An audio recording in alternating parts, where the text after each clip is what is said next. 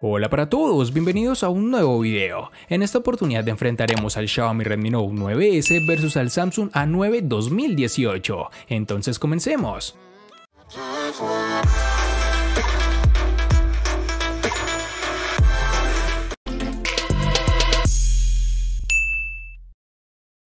El Xiaomi Redmi Note 9S es la continuación directa y modificada del estilo que ya hemos visto en anteriores versiones de la serie Redmi. Un elemento distintivo de este apartado es el panel posterior, y aquí es donde nos encontraremos con una construcción en cristal bastante brillante, junto con protección Gorilla Glass 5, que también se encuentra en la parte delantera.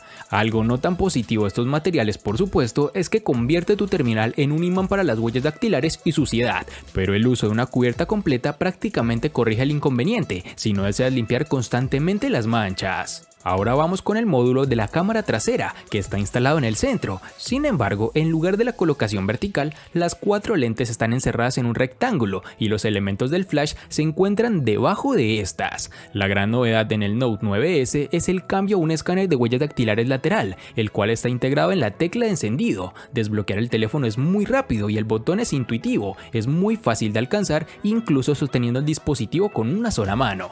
Para el borde inferior nos encontraremos con un puerto USB tipo C 2.0, así como conector para los auriculares. A la izquierda hay una ranura combinada para dos tarjetas nano SIM, así como una tarjeta micro SD, con lo cual podrás ampliar la memoria. Este dispositivo cuenta con recubrimiento P2i, que deberá proporcionar un cierto grado de protección contra salpicaduras, algo que de seguro alegrará a más de una persona. En sus dimensiones nos encontraremos con 165.8 x 76.7 x 8.8 milímetros de grosor y un peso de 209 gramos. Si Samsung con su A9 2018 pretendía impresionar a los usuarios con un diseño espectacular, realmente lo ha conseguido. El teléfono está bien construido, se mire por donde se mire, y consigue captar la atención de cualquiera al sacarlo del bolsillo. Nos da la sensación de que los materiales son de calidad y que no se arañan con facilidad, pues estamos hablando tanto de cristal como metal. Este dispositivo no llama la atención por lo delgado, pero resulta cómodo en mano, tanto al sostenerse con una mano o con las dos. En el A9 2018 tenemos unos marcos reducidos que están muy bien logrados en sus laterales, pero que por desgracia se pierden en su parte superior e inferior, lugares en donde encontraremos los sensores de proximidad, cámara y un parlante. Como hemos avanzado en el apartado de diseño, para la salida del sonido y multimedia tenemos un altavoz en la parte inferior, al lado del USB tipo C, que por fortuna está presente en esta versión, algo que sin duda mejora tiempos de carga y velocidad de transferencia de archivos. Me gustaría que este tipo de puerto llegue a todos los dispositivos, tanto gama alta como baja. Sumado al anterior poseemos un puerto mini jack de 3.5 mm para conectar audífonos y por último pero no menos importante tenemos que su lector de huellas está ubicado en la parte posterior, el cual está activo en todo momento y funciona muy bien incluso con las manos algo humedecidas. En sus dimensiones nos encontraremos con 162.5 x 77 x 7.8 mm de grosor y un peso de 183 gramos.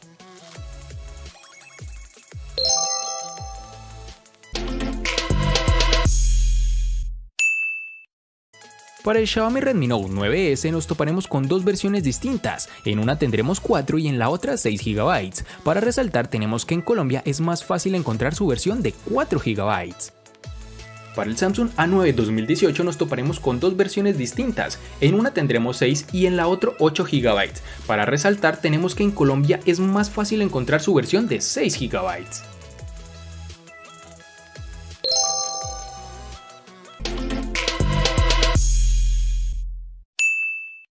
En el Redmi Note 9S, al igual que en su RAM, contaremos con dos únicas versiones, de 64 y 128 GB, que pueden ser ampliadas aún más con tarjetas microSD de hasta 512 GB. En el Samsung A9 2018 contaremos con una única versión de 128 GB, que pueden ser ampliadas aún más con tarjetas microSD de hasta 512 GB.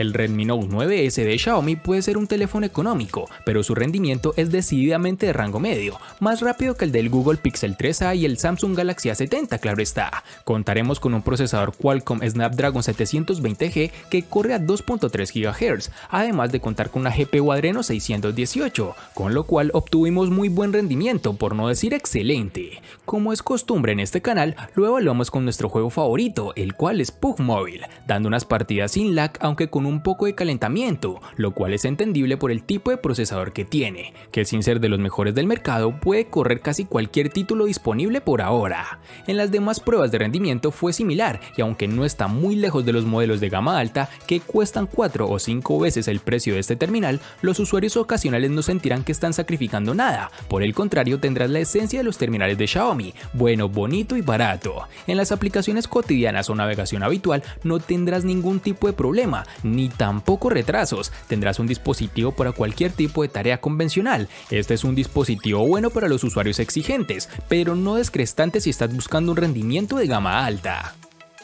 Para impulsar al Samsung Galaxy A9 2018, la marca surcoreana ha elegido un procesador Qualcomm Snapdragon 660, el cual representa la gama más alta de los procesadores de gama media del 2018 de Qualcomm. En el ámbito de los videojuegos, este terminal se desenvuelve a las mil maravillas. Esto no es ninguna novedad, ya que lo hemos visto en acción en varios modelos de esta misma gama. Su comportamiento en juegos como PUBG o el Asphalt 9 ha sido muy satisfactorio y no ha dado muestras de debilidad en ninguna de nuestras pruebas, ni tampoco apreciamos lag en ningún momento. Destaca el excelente trabajo de disipación del Galaxy A9, en el que incluso tras varias horas jugando de forma intensiva, no se aprecia más que un leve aumento de la temperatura en la trasera del terminal.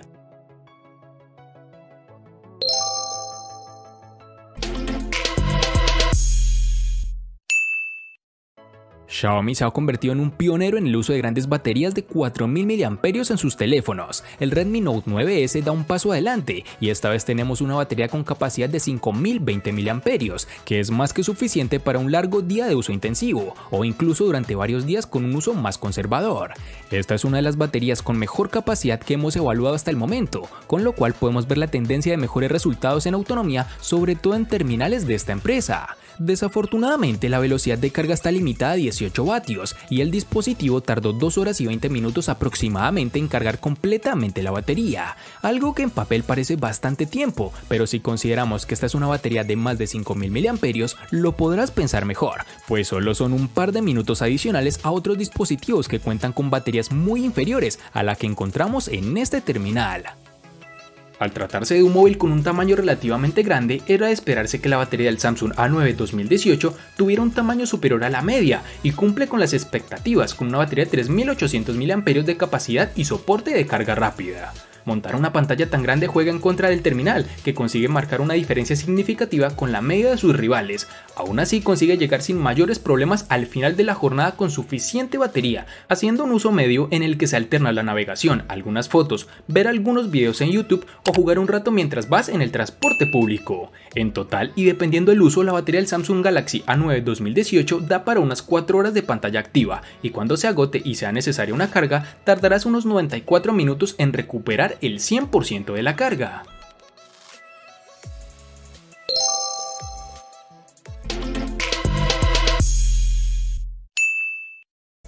Cada nuevo teléfono Redmi viene con un diseño todavía muy Xiaomi, pero ligeramente refinado. Aquí con el Redmi Note 9S nos hemos alejado de la muesca de la pantalla que hemos visto en generaciones anteriores a una nueva pantalla Drop. Esto implica un pequeño recorte en la parte superior de la pantalla para la cámara de selfies, mientras que el altavoz es fácil de perder en la parte superior de la pantalla, escondida en el marco. Contamos con un panel LCD IPS de 6.67 pulgadas, con una resolución de 1080 x 2400 y una densidad de 395 píxeles, con una impresionante relación de pantalla-cuerpo del 91% y un alto aspecto de 29, el Note 9S es como de sostener con una sola mano. Sí, es un poco difícil atravesar con el pulgar todo el panel y operar sin recurrir a dos manos, pero generalmente nos dio buenas sensaciones, aunque un cuerpo grande combinado con una superficie resbaladiza puede significar que es más probable que se caiga de tu agarre, pero el Gorilla Glass 5 tal vez prevenga un poco esto. La pantalla en sí no presentó problemas alguno, muy brillante, incluso bajo la luz solar directa. Los colores son realistas, los ángulos de visión son buenos y la resolución Full HD Plus es nítida, pero echamos de menos la vitalidad y los negros profundos de OLED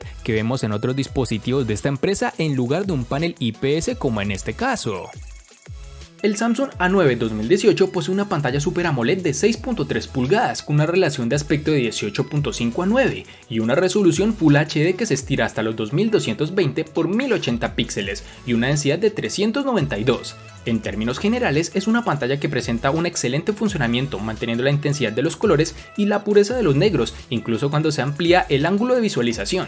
Tal y como sucede en algunos paneles Super AMOLED, la imagen tiende a mostrar tonos fríos, pero gracias a la personalización que permite las opciones de pantalla de la capa de Samsung, no hay demasiados problemas para corregir esa tendencia cambiando ligeramente la temperatura o el matiz de color en la pantalla. A nivel de brillo la pantalla no deja de ser correcta, pero no destaca por ello. Queremos decir que si bien para interiores y exteriores en sombra resulta perfecta, cuando nos encontramos a pleno sol se agradecería un poco más de brillo. En general no es una pantalla que sobresalga de manera notable con respecto a otros dispositivos de la gama, pero da una buena experiencia en aspectos generales.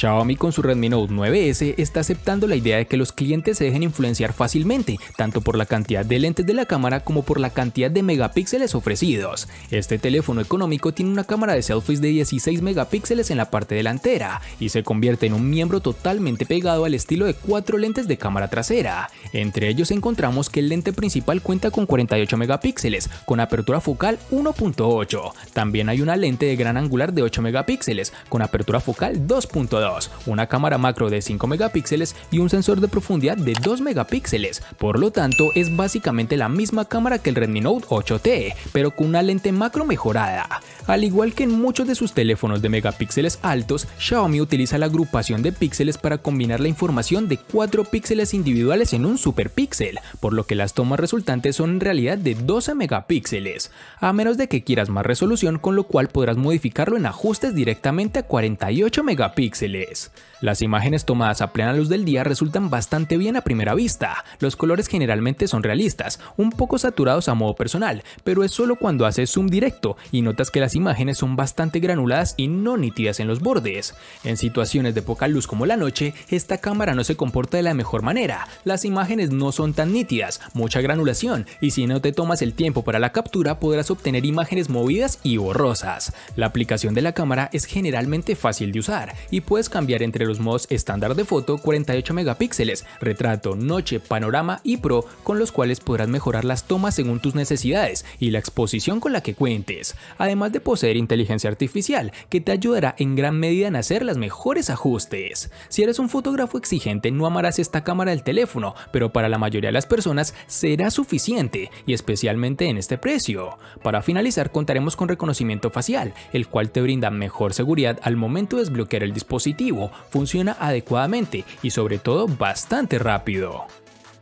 Si por algo llama la atención el Samsung Galaxy A9 2018 es por la presencia de cuatro cámaras en su parte trasera y una en el frontal. Vamos a comenzar con las cámaras traseras entre las cuales tenemos en la parte superior encontramos una lente gran angular que permite ángulos de visión de hasta 120 grados y una apertura focal 2.4, situado ante un sensor de 8 megapíxeles. Como puedes imaginar, esta cámara es perfecta para fotografiar monumentos o paisajes, ya que su amplitud permite captar más información del entorno con sus fotos. La segunda cámara corresponde a un teleobjetivo que proporciona un zoom óptico de 2x, que proporciona una apertura focal 2.4, montada sobre un sensor de 10 megapíxeles. En el tercer espacio se monta la cámara principal del terminal, que consiste en un sensor de 24 megapíxeles con una apertura focal 1.7, que carga bien la responsabilidad de captar la información referente a la nitidez y el brillo de la cámara. En realidad, esta será la cámara que usarás casi siempre. En la parte más baja de esta cuadrilla de sensores encontramos una cámara secundaria de 5 megapíxeles y apertura focal 2.2 que se encarga de captar la profundidad de las escenas para poder aplicarles el desenfoque de fondo. Tampoco nos queremos olvidar de la cámara delantera, que a pesar de afrontar en solitario la tarea de hacer buenos selfies, ofrece una buena calidad en la mayoría de los casos, aunque también sufre cuando las condiciones de luz no son las correctas. En este caso hablaremos de una cámara frontal de 24 megapíxeles con una apertura focal 2.0. Tras probarlas en diferentes escenarios de luz y situaciones, el resultado no ha sido el esperado, que sin llegar a ser malo, las fotos no pasan de tener una calidad correcta, algo que ha desinflado un poco al hype inicial de las cuatro cámaras. Sumado a lo anterior, el terminal con un desbloqueo facial, el cual es bueno como ya es costumbre en Samsung.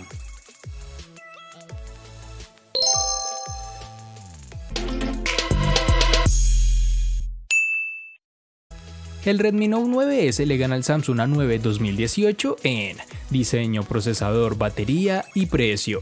Por su parte, el Samsung A9 2018 le gana al Redmi Note 9S en los siguientes aspectos, RAM, pantalla y cámara. En los aspectos que empatan son únicamente en almacenamiento.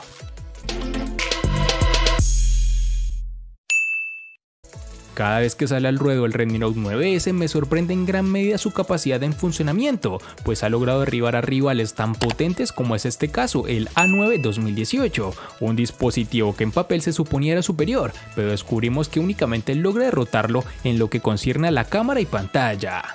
Espero te haya gustado el video. Recuerda suscribirte, activar las notificaciones, darle me gusta y compartirlo para que sigas disfrutando de más contenido similar. Hasta pronto amigos.